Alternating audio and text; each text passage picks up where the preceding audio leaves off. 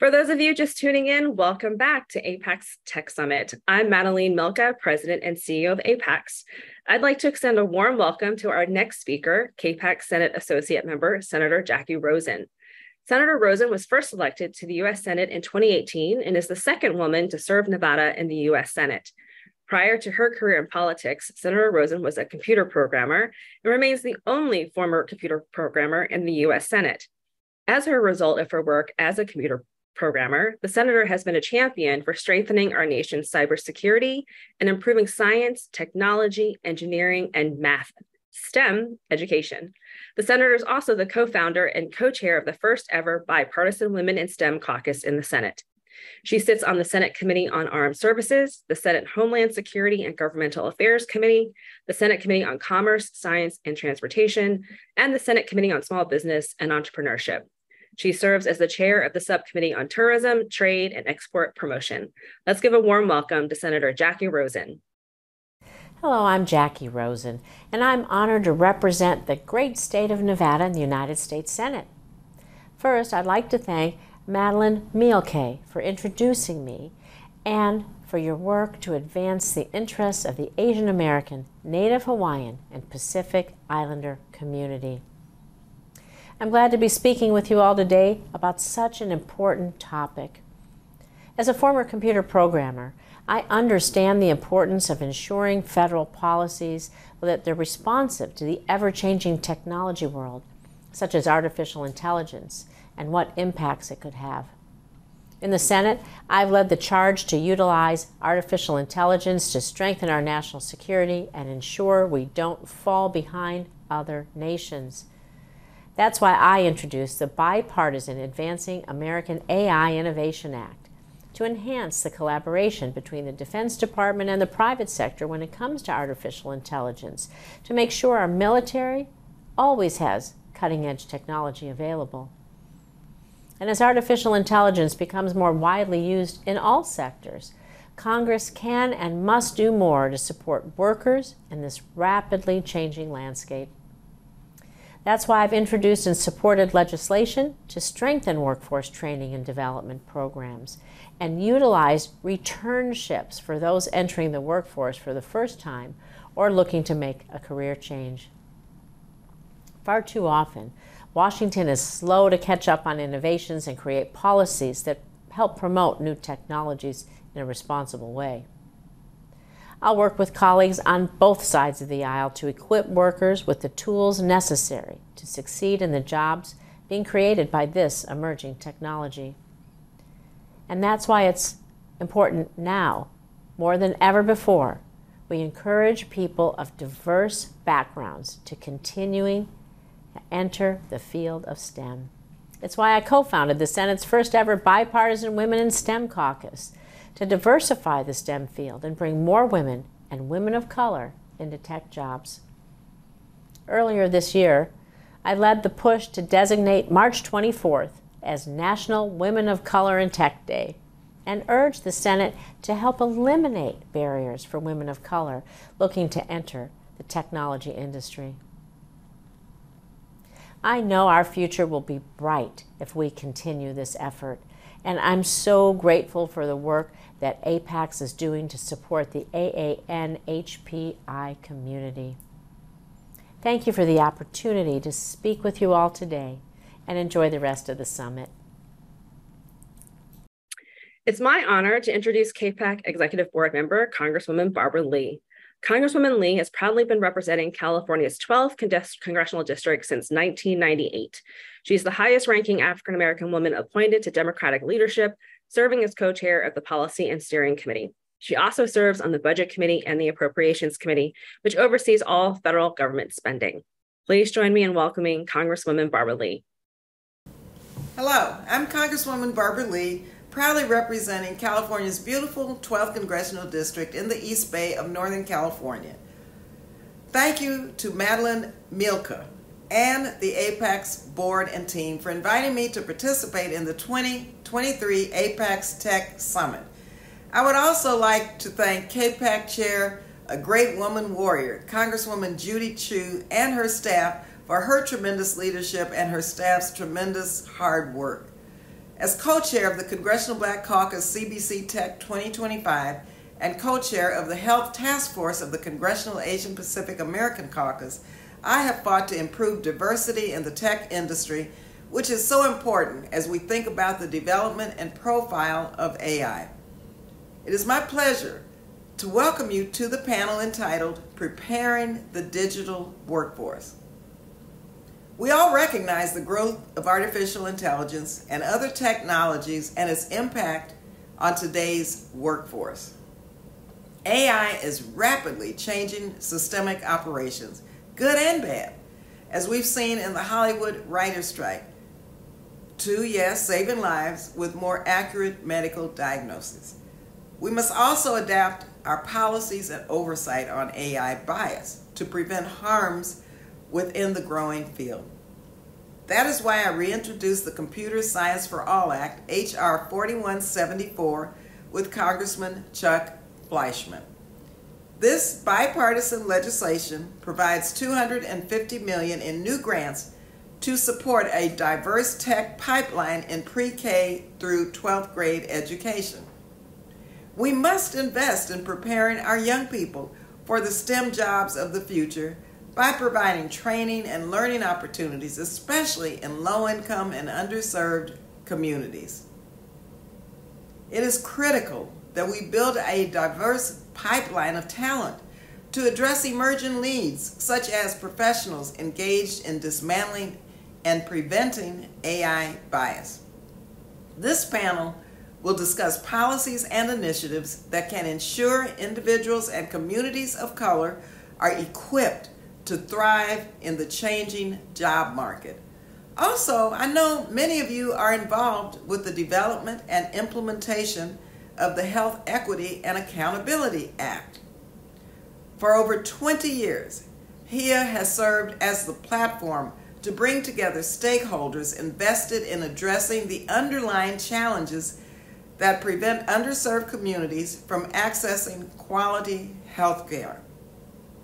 HEA includes a provision that would require the establishment of a task force on preventing AI and algorithmic bias in healthcare. The task force would provide practical and ethical guidance on the integration of AI and algorithm rhythms in the healthcare service delivery process.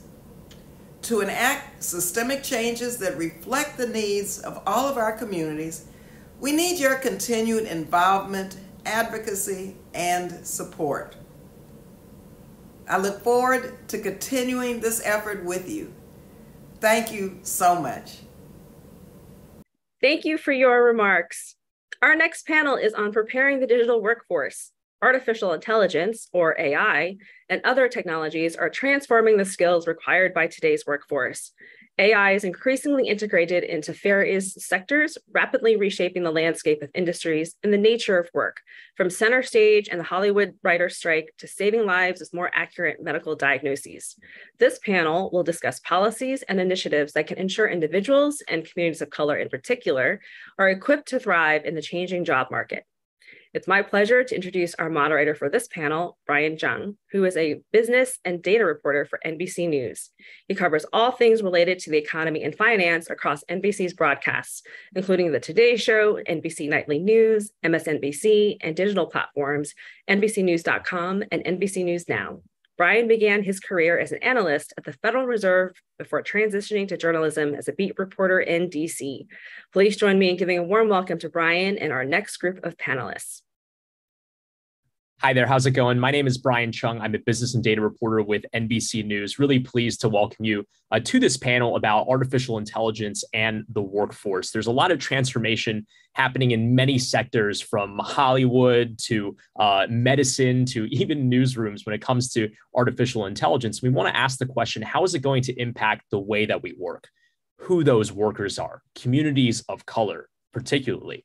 So we have a really all-star uh, panel compiled today to help address some of those questions, and I'll introduce them uh, quickly, and then I'll have each of them kind of uh, say and, and, explain a little bit more about what they do. Uh, so we have Tali Bray, an executive vice president and of technology, diversity, community, and sustainability at Wells Fargo.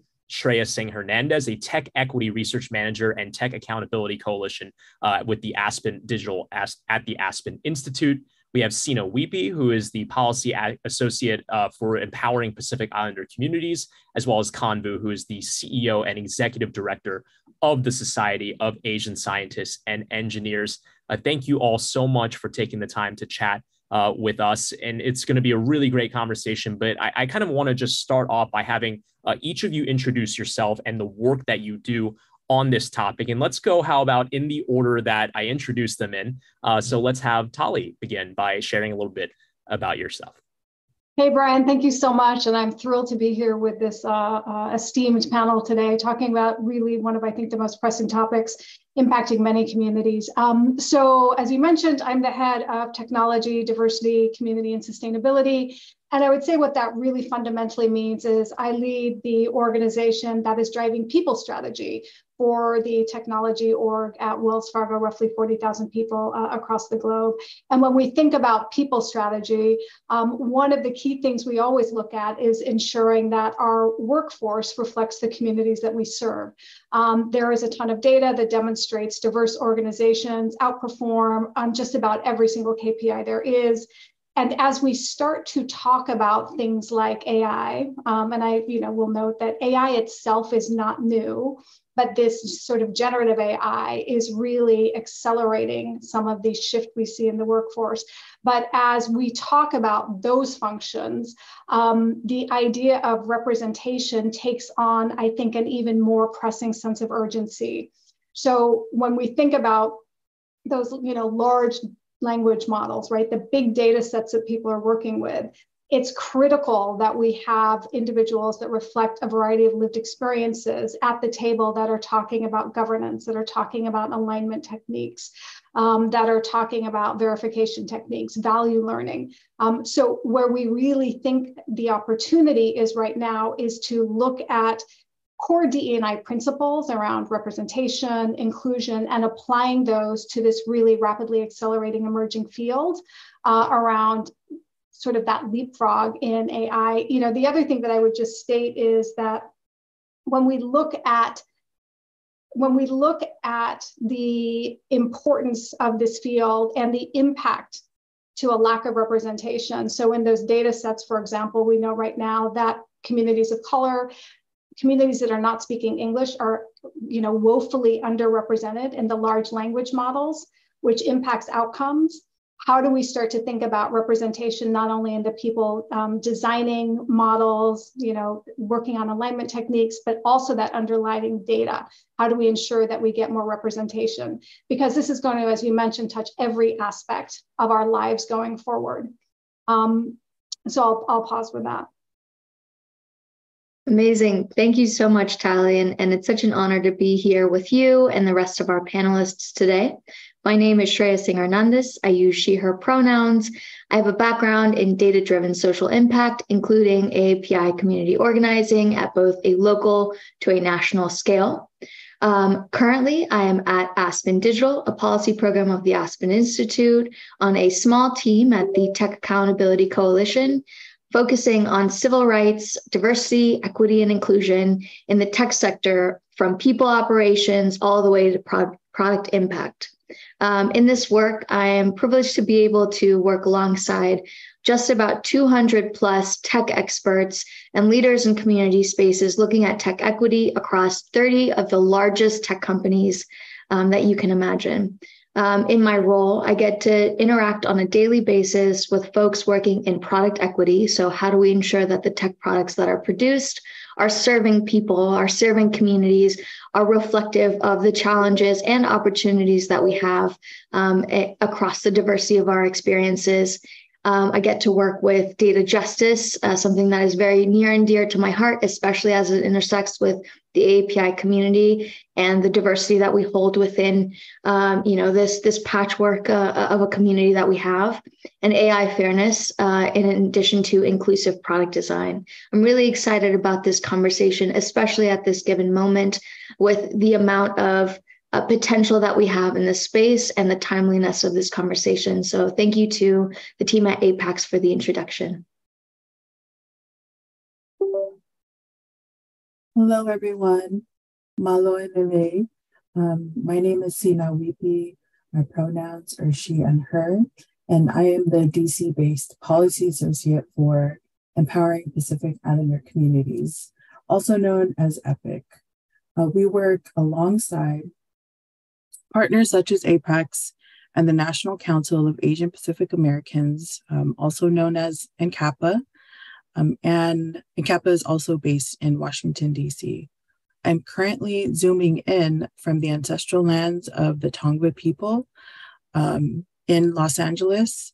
Uh, we are a pro Black, pro Indigenous, and anti racist national organization based in Los Angeles, working to advance social justice for Native Hawaiian and Pacific Islander communities on the continental US through culture centered advocacy, leadership development, research, and narrative change.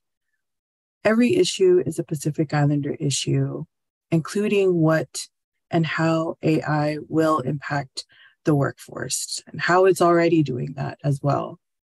All of the issues, um, data, data disaggregation and language access are two key themes that cut across all the issues we work on and is something we continue to advocate for at the local, state, and federal level. With AI, it's not an issue that we're included on in terms of discussion and decision making. So I'm grateful for this opportunity to be amongst fellow colleagues who work more closely on AI and identify ways of how we can work together. We just acknowledged um, Native Hawaiian and Pacific Islander Equal Pay Day, which was on August 30th. So we're, so we're curious how this will impact NHPI women in particular. Thank you. Hi, everyone. My name is Khan Vu, CEO and Executive Director for the Society of Asian Scientists and Engineers.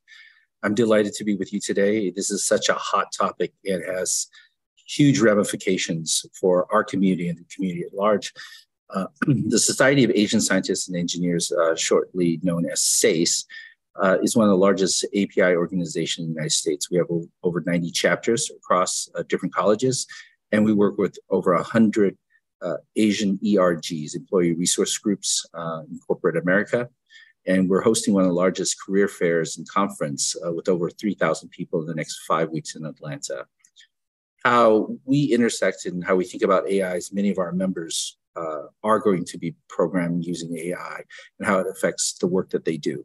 So I look forward to the discussion, and uh, yeah, I'm excited for this topic because, as uh, you know, as others have said, this is germane to what people are thinking, and we need to make sure it is inclusive uh, right at the onset. Thanks so much, everyone. And uh, what a great way to just kind of show the range of different perspectives that we're going to have as part of this conversation.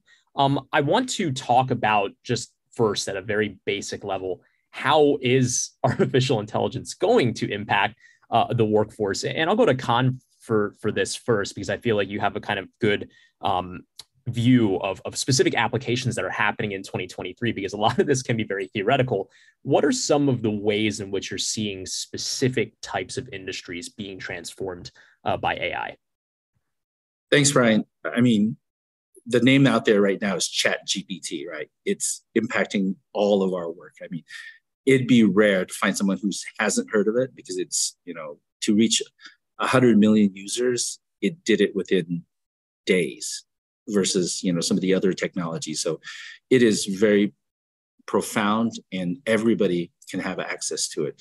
So just from um, kind of an industry standpoint it's impacting all industries uh, but it just doesn't stop there. I mean, companies are using ChatGPT, large language models, and other AI tools to really become more efficient, um, become more, uh, let's say, productive. Uh, there was a study by the Lancet, and they were looking at AI. This is one of the largest medical studies uh, on mammography, and they talked to the radiologists. What they found out was a couple things. A, the radiologists were afraid of AI going into it. But the AI helped identify 20% more of the, the cancers that would not have been detected. And the radiologists at the end were becoming 44% more efficient. So I think there's a lot of impact across the industries. Uh, to your question, right? it's our imaginations, really, at the end of the day, that's kind of limiting what it is because people are using it in so many different ways that we can't spend our whole time talking about the different areas that are going to impact. Uh, the last thing I'll say is uh, currently there is a strike in Las uh, Vegas right now. Thousands of people are showing up striking. Uh, the culinary uh, workers union is striking because they're afraid of AI taking their jobs. And they already are having bartenders who are not bartenders, but robots serving drinks.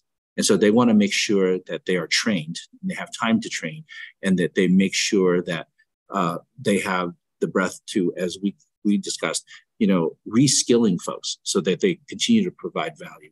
I know some of our other panelists have really strong and uh, thoughts on this too. Yeah, no, I mean, even in, in our industry in news, uh, you know, there's been talk of some other newsrooms using AI to, to generate written stories. I've tried to feed a feed a story through AI. It didn't come out that great, so I think it's still got some got some work. I'll still be employed at least for the time being. Um, I want to go to uh, uh, Talia next because I think that um, you you outlaid you know a very nice amount of uh, uh, examples there. But you know, Talia, you're you're at a company, you're at Wells Fargo in the financial services world. This could be hugely transformative as, as well how is your bank thinking about um, AI and, and how are you kind of helping to implement that? So, you know, I'd say a couple of things. Um, one, I, I want to restate AI is not new. So companies have been leveraging AI for 10 years. Uh, you know, 10 years ago, I was working in contact center technologies as we were looking at bringing together self-service channels like digital channels with assisted service with contact centers. And we were looking at understanding employee sentiment. And we were looking at how we wanted to route calls based on information. This was all artificial intelligence whether it was natural language processing machine learning We've had fraud models for many, many years, machine learning. So AI itself is not new. I think what is new and how we're looking at this in two ways is the volume of data and this like the volume of data the representation of data the speed with which we can now ask questions propose hypotheses and get an answer and how that's really going to shift how people work so i think about um, we are looking at for example can we now more effectively understand what our diverse segments may be not only looking for from a product perspective, but how they're feeling about us from a sentiment perspective. And so we're looking at AI techniques to aggregate existing data populations that we may have. We may have data sets around, you know, customer behavior. We may have data sets around employee sentiment. We may have data sets around um, just public sentiment from social. How do we now aggregate those and think about specific questions or hypotheses that allow us to better understand our diverse segments and think about supporting and serving them from a product development perspective in a different way? um, you know, as we look at um, fraud, as we look at decisioning, we also are incredibly aware of the fact that there is bias in data because many of these models are based on historical data and decisions. So we know that bias is inherent in that. This comes back to the comment around representation. If we do not have people at the table working on models, thinking about alignment techniques, which is really how do you ensure that the AI is aligned to your value proposition, to your goals? How do you get value learning out of this? If we don't have people that reflect a variety of lived service, uh, lived experiences at the table in those roles, we perpetuate that bias. So I think the thing that's really um, important to understand is we have an opportunity to uh, amplify and accelerate bias sort of in a nonlinear function, we also have an opportunity at a systemic level to potentially start to address some of that historical bias in decision making by looking at that data and having individuals um, verify and ensure that we're addressing some of the historical inputs in the system and shifting decision making coming out of that. So, you know, I'd say we're continuing to do what we've done. There's not, we are not using Gen AI, for example, to write marketing materials or to develop new product concepts. You know, we are doing what we've done, but we're now, like, I think, very thoughtful and intentional in ensuring that we're recognizing we have an opportunity and a responsibility to address bias in the historical data that allows us to sort of move forward, I think, in a more equitable way. Yeah, and that's a really good humbling reminder too that uh, ChatGPT uh, is not the start of AI. The AI has been around for a while, but it was only until November when people could start signing up for the beta that everyone seems to think that AI started. Um, I want to kind of uh, pass the ball over to Shreya because you know again we're talking about applications of this in, in, the corporate world and you have the unique perspective of working with a lot of companies not just national but global as well as they try to develop and apply ai as well. You know tali mentions bias. In what ways are you seeing companies kind of thinking about that as they as they try to um, get through the iterative process of implementing this? Yeah absolutely. And and to go back to the conversation um, you know we've seen ibm put out a survey or a study um, very recently that shows that executives estimate that about 40% of their workforce will need to reskill as a result of implementing AI and automation over the next three years. And this was a survey of 3,000 global C suite leaders across 28 different countries. So this is definitely a global workforce issue. It's an issue that we see leaders and managers um, and you know uh, individual contributors grappling with on a day-to-day basis and getting an understanding of how ai and the implementation of, of these tools in their day-to-day will affect their jobs and how to reskill. I, I want to be careful about not using the word upskill. Um, all labor is skilled labor. There is no unskilled labor so you, using the word reskill. How do we make sure that folks are keeping up with um, the new tools that are emerging and, and making sure that their um, careers are, are adapting and that the um, workforce environment is adapting to ensure that it is serving everywhere, that it's a, that it's a safe environment for folks. Um, LinkedIn also recently saw a 21% increase in the share of English language job postings that mention new AI technologies such as uh, ChatGPT since November 2022 in their latest report in June 2023, very recently, the number of AI skilled members on LinkedIn was nine times larger than it was in 2016. So we're definitely seeing both an increase in uh, demand for these jobs and skills, as well as an increase in an appetite for workers to reskill themselves with more of um, the sorts of skill sets that an AI integrated workspace would require. Um, lastly, I want to step back and think about the pathways into technology, the pathways into employment, which is another part of the work that uh, my team touches. And a reframing of um, you know young folks or folks coming in come to the job environment thinking about um, what is the problem that they want to solve rather than the role or title that they would like to have. We're seeing such a rapid shift in the way that job job architecture is set up, in the way that roles are set up with the increased involvement of technology and a reframing of how folks are um, reskilling or or you know um, educating themselves on these new technologies is incredibly impactful, especially in this moment of of rapid change uh, in, the job environment.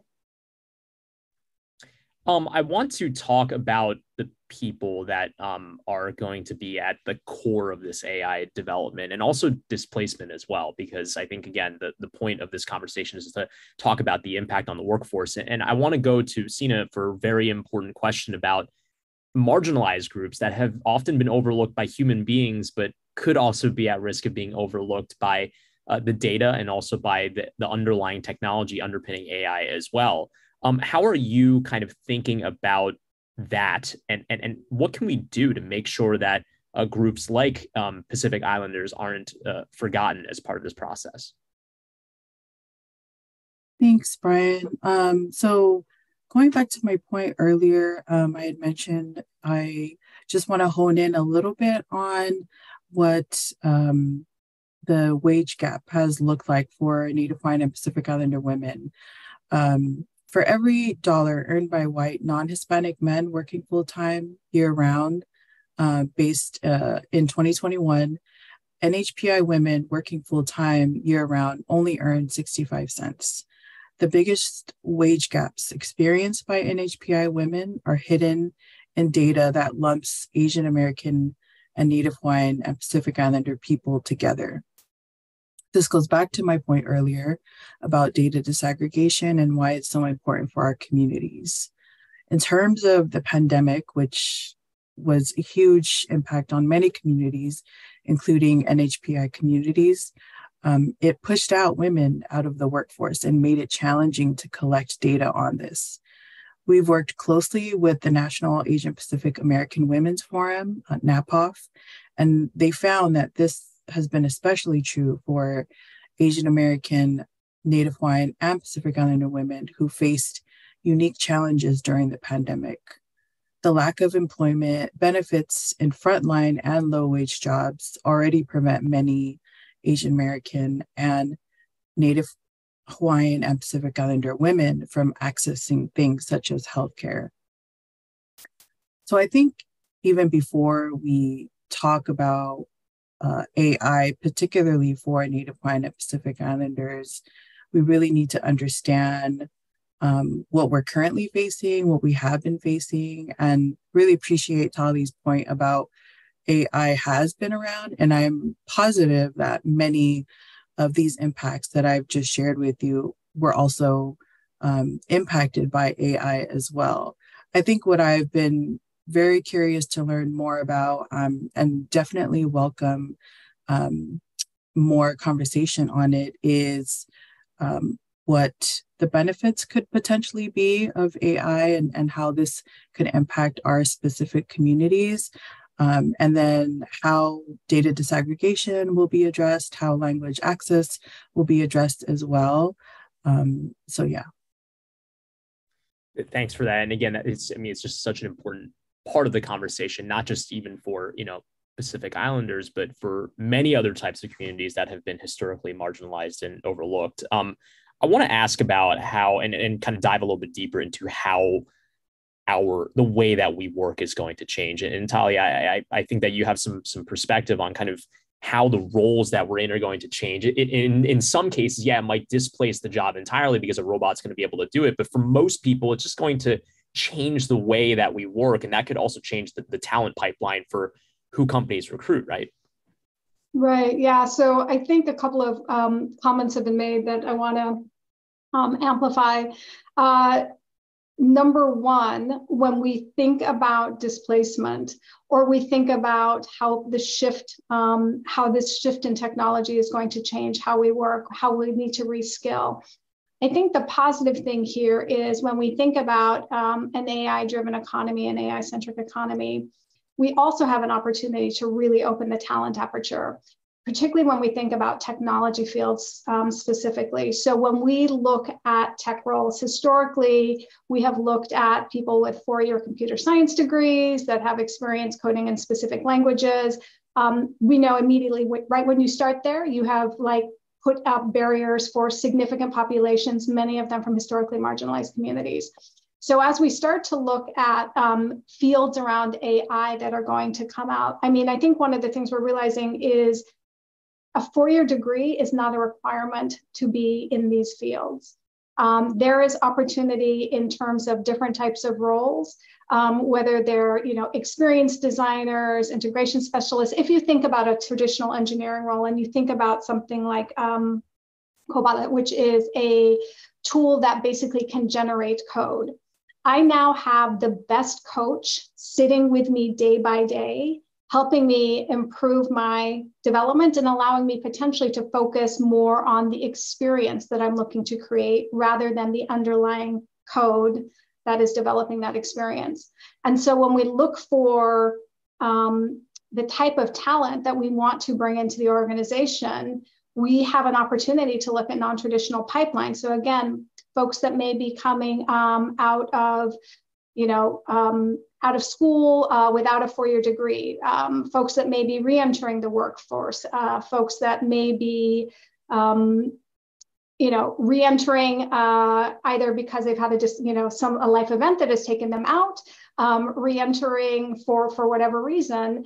We now have an opportunity to say. Uh, look at a variety of skills and think about how we can actually train people on the job because the other thing i would say is that the you know the shelf life of um, technology is decreasing rapidly and so as we see technology accelerating, we also see the shelf life decreasing, like almost, you know, in this correlated way. So, what we really want in terms of talent is people that are continuous learners, people who are curious, people who are analytical, people who are logical, not necessarily very specific requirements of a four year degree you know in computer science or a phd in data science. There will always be the need for very specialized roles but there's also an opportunity you know as i said for people to come in in analyst functions where you don't need to be you know um, gifted in linear algebra. There are people that can come in and focus on you know experience where you don't need to have a degree in design or marketing um, so we're really excited, I think, about the opportunity that this allows us to bring in talent from what we would call non-traditional pipelines and think about how we develop that talent internally um, and how we create sort of organizations that are continuously learning because this will continuously evolve.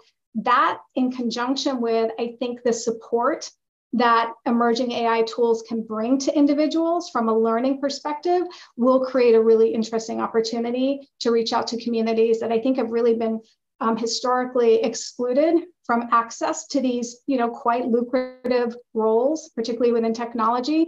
So we also think, you know, if we partner with organizations that are focused on, um, you know, education, like uh, Society of Asian Scientists and Engineers, Ascend Leadership, and we talk about okay how do we think about reaching out and providing sort of basic fundamental skills and competencies that will allow us to bring people into the organization and potentially leapfrog you know some of the lack of access that has historically you know I, this this word is maybe dramatic but it's true that it's historically plagued certain communities right? Like just a totally systemic lack of access. So i do think there's a way that we can leapfrog that but again, I'm going to emphasize like representation at all aspects of an organization is critical because the people making policy decisions within organization, whether it's HR, whether it's product, whether it's segment sales, really need to represent those communities to ensure that this um, focus and prioritization is there.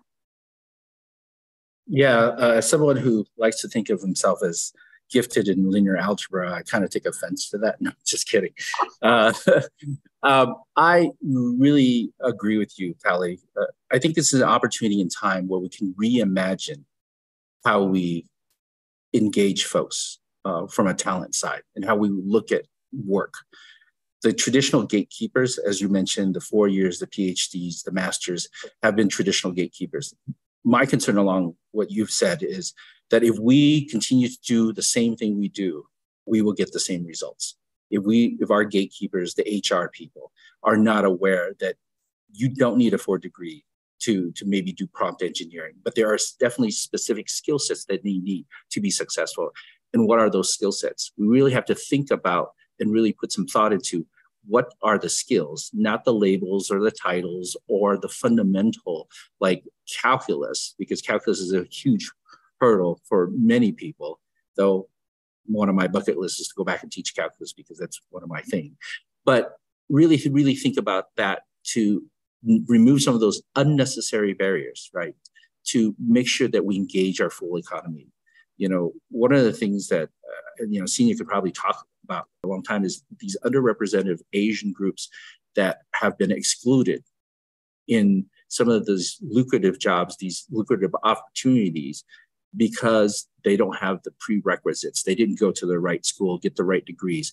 So I, I, think it's a challenge on our lawmakers, on our HR folks, the traditional gatekeepers to really rethink what we need in this next new economy to, to engage the full economy. So with that, I'll, I'll pass it back to you, Brian, or one of the, uh, or no, Shreya, you want to jump in here? Yeah, well, actually, I, I I'll jump in first because I think that what we're getting at here is kind of just the the precautions that we need to take to make sure that we're not excluding people along along this process, which is going to be different depending on what industry you're talking about. Uh, the biases might be different in, in, in one industry, one company than than the other. But you know, I want to kind of ask you about uh, you know the ways in which okay, yeah, AI is going to make us more productive, but maybe that actually is going to be a bad thing because you're going to have people exploiting labor are, are there certain situations where you're seeing kind of like a lumping of, of, of work and and you know how, how how can we make sure that we're addressing that as we kind of think about even the global scale of all of this Yeah, thank you so much, Brian. Um, I definitely love to scope out a bit into the global scale of the work and what it actually takes to create the models that we're looking at and are able to employ and speed up and expedite our work on a daily basis today that are really, you know, giving us so much privilege and, and access um, to immense speeds of work.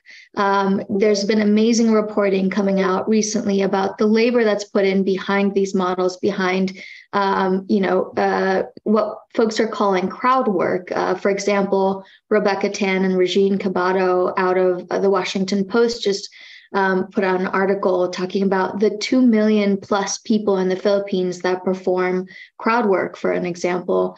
Um, and, you know, it, it's part of, as they call it, AI's vast underbelly of this global um, network of workers that often don't see the same amounts of profit from these tools as we do in, in the United States or it's very concentrated in the tech sector and the leaders there. Um, you know, we they say AI is often thought of as a human-free machine learning system, and the technology is is very abstract, but it actually requires an intensive amount of labor from people, and often those people exist in the global south and are subject to exploitation, as as you know, Rebecca Tan and, and Regine Cabato in this article that I just referenced um, talk about. Another great reporter is Billy, Billy Perrigo, who um, has been putting out amazing amazing work on um, the human capital, the labor that is um, so intensively mined, if you will, to create um, the labels and and the um, to comb through the data um, and make the models that we are able to access today. And um, you know, he reports that in an AI data sector, which is worth over 2 billion globally in 2022 and is projected to rise um, to 17 billion dollars by 2030 that very little of that money flows to the data workers in places like india kenya and the philippines. The other thing in the context of a global perspective here is also the language gap. Most of these models most of these um, you know pieces of technology use english as the lingua franca. And not only expand that um, you know pay gap that i just talked about that wage gap globally but also expand this language gap this language access gap where um, you know cutting edge ai in models like uh, in large language models like chatgpt often rely on english as its primary or only language in both text and audio data. And other languages that may have you know millions of speakers are often getting um, uh, deprioritized and exponentially deprioritized through these models. I'd love to highlight um, a person whose work I really admire, uh, Michael Running Wolf um, up in Canada. He's pursuing his um, PhD and has started um, Indigenous in AI and is working to keep um, uh, indigenous languages alive through the use of AI, through creating these these data sets spoken by native speakers. But you know, when we scope out globally, that's another um, two issues that I'd love to bring into this conversation. Yeah, and those are really great examples of kind of how those communities that want to make sure they have a seat at the table are inserting themselves into that conversation, which I think is a great way to bring Sina back into this conversation and just kind of ask like, how are Native Hawaiian and Pacific Islander communities kind of viewing their position at the AI table? Do you feel, and you kind of alluded to the fact that you feel like you you haven't been included historically in, in many conversations. How, how you? How can you make sure that you're part of that? And and uh, are there examples that you've seen in the past of like you weren't included at first, then you got a seat at the table, and then you were able to advocate for yourselves? Yeah, thank you, Brian, for that question. Um, I think it's just really important to to stick to what we are continuing to do with partners such as APAICS, which are build relationships with uh, Native Hawaiian and Pacific Islander community organizations um, and HPI leaders, and especially young people. I'm really um, glad that Shreya point made that point. Um, and just really share the benefits um, what of what AI can provide. Um, I I know that I with two conversations, right? One with our elders, one with our young people. Those can look very different. Um, sometimes it can um, it's a little tricky when it happens at the same time. Those conversations happen happen at the same time, but I feel like when we get conversations with uh, in smaller groups with our communities, with elders, with young people, we are able to hear more of their concerns. Um, and so I think bringing them into the conversation will definitely you will hear more concerns um, but I, I also know that they would be open to learning what the benefits are um, how we can get more involved and be a, and be a part of important discussions and making decisions. And really really appreciate uh, the point that tali made about non-traditional pathways. Um, that is literally what our communities are are rooted in for many NHPI uh, people. And just how reskilling and training um, that some of my colleagues here uh, spoke to earlier could look like for Native Hawaiian and Pacific Islander communities. Thanks for that perspective. And, you know, I think that the overarching, which I think is good for any emerging technology of this conversation has been kind of, you know, a sense of, of caution and a bit of concern as well. But, you know, Khan, I want to throw the question to you, like, what what's the upside of this for marginalized communities as well, right? I mean, we talk about AI, everyone's like, this is going to be the biggest transformational thing that could be uh, uh, up to the scale of the industrial revolution. What are the good aspects of that? I mean, I guess in many ways, the conversation of us even being included as part of that, you know, marginalized communities having a seat at the table is already maybe miles ahead of previous large technological innovations. Yeah, I think you raise a good point. Is you know, yes, we need to be cautious, but what are the benefits? Bringing these marginalized groups to the table, decision making, and being inclusive, making sure that they are part of the communities that we lift up and become educated in this area and have the skills to take advantage of the AI economy. Those are kind of the, the I think some of the questions that we as a society need to ask is are we willing to have them at the table and are we willing to invest in those communities to bring them along? Um, AI in itself is going to increase our productivity. I mean, we're going to be so competitive as the talk of, you know, the CEOs that Shreya has mentioned that how many CEOs, how many companies are talking about AI is incredible. And they're implementing those technologies to become more productive. So that means they can do things better, faster. Uh, the Lancet article that I re- referred to earlier is look, we're going to catch 20% more people who have cancer than we would have without. So we're probably possibly saving 20% more lives, right? So those are the positive impacts, but we've got to make sure that we bring people outside of the existing structures to be included in the, the table, decision making, and also inclusive as we transform our economy. So yeah, I think there's a lot of positive. We just be mindful about how we t- get there together, hopefully. And I think that's a really good way to kind of launch into uh, the final round of questions that I'll have here. And uh, I think we got five minutes left, so let, us try to be be uh, efficient here. But what is the most impactful thing that we collectively need to do to get ahead of all this? It's all happening so fast, but at, we want to talk about actionable things here. So, Tali, let, let me begin with you and kind of get your thoughts on what's the thing that we need to do right now in 2023 to get. Okay, so um, we can think about this and this i'm not this is not my phrase so i am borrowing this phrase but moving from atoms to bytes. So we are moving from a physical world to a digital world. And more and more of our experience will be in that digital world whether it is access to financial services whether it is access to personalized health as Khan mentioned you know as sina mentioned whether it is access to educational and non-traditional pathways it will be in a byte centered environment in a digital environment.